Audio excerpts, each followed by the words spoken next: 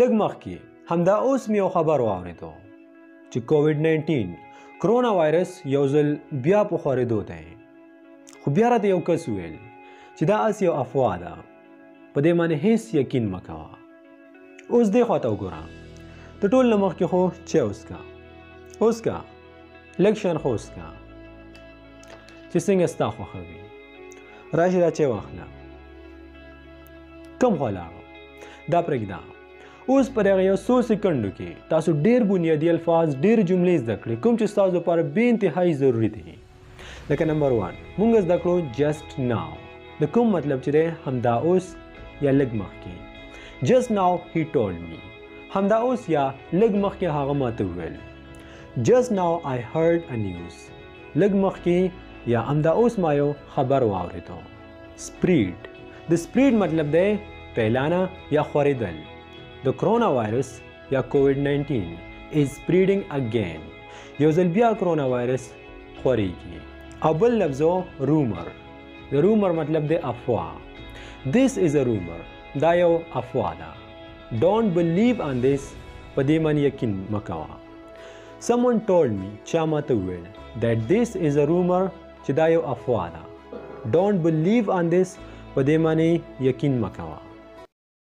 السلام علیکم ډیر فرینډز اینڈ آئی ریلی ہوپ دیٹ یو آل آر ڈوئنگ ویری ویل آئی ایم یور ہوسٹ عبید علی فرام دی یو ایل انگلش انگلش په پښتو کې ایز یو آلویز کین سی جسٹ رائټ بهایند می او نن په دغه ویډیو کې په دغه درس کې به تاسو د انګلیش د شل نه زیات الفاظ او د سره سره به تاسو ډېری جملې زده کړئ کومې چې تاسو روزانه هر ځای کې او هر ټیم په کار راځي او د نن نه بعد په دغه کورس کې به تاسو ته د 4000 اسنشل انګلیش ورډ کوم کتاب کوم کورس چې موږ شروع کړی د هغې یو یو یونټ به تاسو ته په ډیر منظم ډول او په یو ښه ترتیب کې ملاوي او تاسو به کولی شئ چې خپل انګلیش ډیر زیات مضبوط کړئ ډیر الفاظ زده کړئ او ډیرې جملې زده کړئ او په ډیر کم وخت کې خپل هدف ته ورسیږی نوردی لپاره دغه ویډیو تر اخره پورې خامخا وګورئ ځکه چې نن به موږ زده کوو دویم یونټ په کوم کې چې ډیر زیات ضروری الفاظ دي جملې دي تاسو به ډیر زیات خوښ شي او تاسو ته به ډیره زیاته فایده وکړي نمبر 1 Alien The 4000 Essential English Word لومبنی کتاب دویم مشق دویم یونټ کې لومبنی لفظ دی Alien دغه نوم ډیر زیات عام دی تاسو به ډیر اوریدلی وي او دا ویل کیږي یو داسې مخلوق ته چې هغه د یو بلې دنیا نه راغلی وي مطلب خلایي مخلوق ته ویل کیږي الین د دې باره کې ډیر هالیوډ فلمونه هم شته څوک وایي دا صحیح خبره ده څوک وایي دا نشته خو په اصل کې دا یو اس یو امیجنیشن هیڅ قسمه الین نشته دی نمبر سیکنډ دویم نمبر لفظ دی امونګ او د امونګ مطلب دی درمیان مابین یا په مینځ کې لکه څنګه چې موږ په پښتو کې وایو فار ایگزامپل چې په ټولو رونو کې هغه یو ایماندار انسان دی نو دغه رنګ په انګلیش کې په دغه سچویشن کې بیا موږ امونګ استعمالو هی از ان اونست پرسن امونګ آل اف هیز برادر مطلب په ټول ورونو کې دا ډیر ایماندار انسان دی یا ډیر ایماندار سړی دی هی از ان اونست پرسن امونګ آل اف هیز برادر دغه سور ګلاب په دغه ټولو ګلانو کې ډیر ښه ښکاري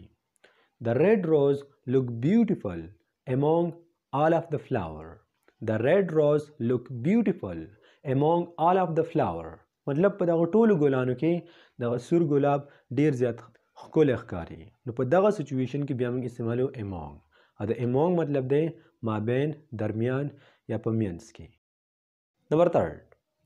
چارټ چارټ خو موږ په پښتو کې وایو چارټ څلورم نمبر دی کلاود کلاود ویل کېږي وریځو ته مطلب په اسمان کې چې کله وریځې راشي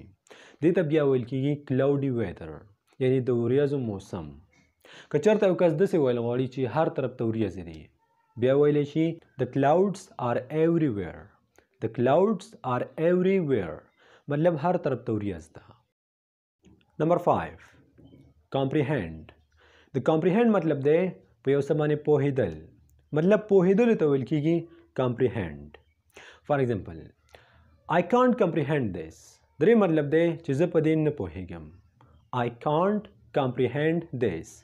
زه په دې نه پوهیږم کین یو کمپریهند دیس کین یو کمپریهند دیس مطلب ته په دې باندې پوهیږي یا آیا ته په دې باندې پوهیږي نو کمپریهند پنځم نمبر لفظ دی او د دې مطلب دی پوهیدل نمبر 6 ډیسکرایب د ډیسکرایب مطلب دی د یو څه شي وضاحت کول په لیکلو کې مطلب که چېرته تاسو ته څوک وایي چې څه ډیسکرایب کړه دا به تاسو ډېر اورېدلی وي نو د دې مطلب دی چې د یو څه وضاحت کول د لیکلو په ذریعه سره مطلب دا ډیسکرایب چې کوم دی دا د کې دوه لاتینی لفظ سره یوځای شوي ډي مطلب ډاون ښکته سکرایب سکریپټ لیکلو ته ویل کېږي لیکل د یو څه باره کې د یو څه وضاحت کول For example, can you describe the personality of the Holy Prophet Muhammad صلی الله علیه وسلم د دې مطلب دی چې آیا ته وضاحت کولی شي د پیغمبر علیه السلام د شخصیت کین یو ډیسکرایب آیا ته وضاحت کولی شي د پرسنالټي د شخصیت اف د هولي پراپټ محمد وسلم د پیغمبر علیه السلام نو ډیسکرایب مطلب دی وضاحت کول نمبر سیون ایور ای وی ای آر ایور درې مطلب دی کله لکه څنګه چې موږ په پښتو کې وایو کله دا غرنګ د دې لپاره د انګلیش ورډ دی ایور لکه څنګه چې موږ وایو آیا تا کله دا کار کړی ته کله هلته تللی نو په دغه ټیم کې د دې کله لپاره په انګلیش لینګویج کې دغه لفظ استعمالیږي فار ایگزامپل آیا تا کله ارتورل ډرامه کتلې Have you ever watched Arthurol drama? دې مطلب دی چې آیا تا کله ارترول ډرامه کتلې Have you ever played cricket? آیا تا کله کرکټ کړی؟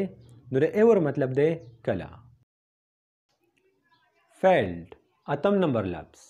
درې مطلب دی ناکام کیدل دغه لفظ هو هر چاته ورځي He failed in exam هغه په امتحاناتو کې ناکام شو د فعل مطلب دی ناکام کیدل فرندلی فرندلی ویل کیږي دوستانه ته لکه څنګه چې موږ وایو دا یو ډیر دوستانه انسان دی دا رنګې د دې لپاره د انګلیش لفظ دی فرندلی فرند هر چاته پتر دوست ویل کیږي او فرندلی دوستانه فرندلی ټیچر فرندلی پرسن وغیرہ ګریډ جی آر ای ډی ای ګریډ د مطلب د رتبه مقام لکه څنګه چې مونږ وایو زه په دولسم کې آی ایم ان ګریډ 12 زه په دولسم کې مطلب په دولسم کلاس کې دیس ایز ګریډ 12 بوک دا د دولسم کتاب دی نو ګریډ ویل کېږي یو رتبه ته یو مقام ته انسټیډ د انسټیډ مطلب دی په ځای د یو څه په ځای لکه څنګه چې موږ په پښتو کې وایو چې د دې په ځای باندې دا کار کړی وی د دې په ځای باندې دا اخیستی وی وغیره دغه رنګې د دې لپاره د انګلیش لفظ دی انسټیډ فار ایگزامپل تا ته پکار دی چې خپل مطالعه ته خپل سبق ته پوره توجه ورکړي د ګیم په ځای باندې مطلب د ګیم په ځای باندې تا ته پکار دی چې ته خپل سبق ته خپل مطالعه ته پوره توجه ورکړي بیا په انګلیش لانګویج کې مونږ وایو یو شوډ فوکس آن یور سټډي انسټیډ پلینګ گیم مطلب د گیم په ځای باندې تاته په کار دی چې تخپل سبق ته مکمل توجه ورکړي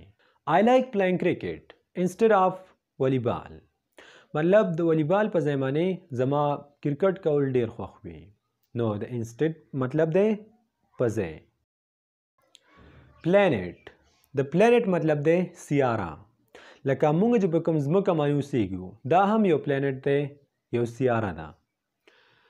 بل دی رپورټ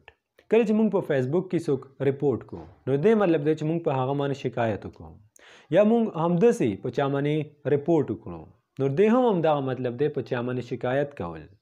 خو چې کله موږ یو میډیکل رپورټ تیار کړو نو دې مطلب دی بیا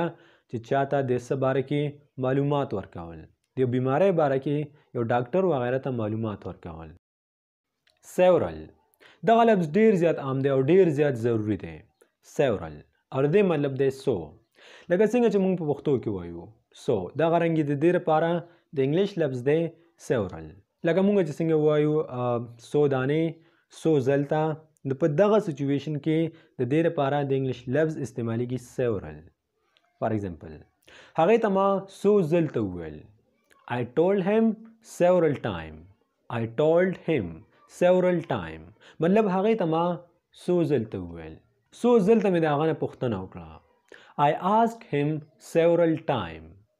مطلب د هغې نه ما څو ځل ته پوښتنه وکړه سولف اوس یو بل ډیر ضروری لفظ او د دې مطلب دی حل کول یو مسله حل کول فار ایگزامپل کین یو سولف دیس پرابلم آیا ته دا مسله حل کولی شي کین یو سولف دیس پرابلم آیا ته دا مسله حل کولی شي نو ون کین سولف دیس پرابلم څوک هم دا مسله نشي حل کولی